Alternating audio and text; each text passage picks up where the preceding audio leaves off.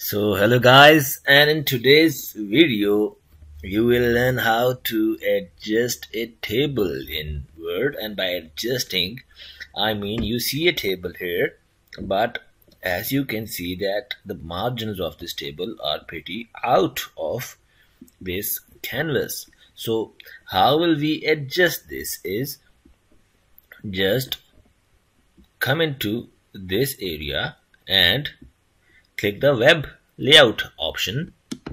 So when you click that you will get into this space. Now in this space all you have to do is just drag this table by coming here and when the mouse changes to this sign just click this and just kind of drag it back.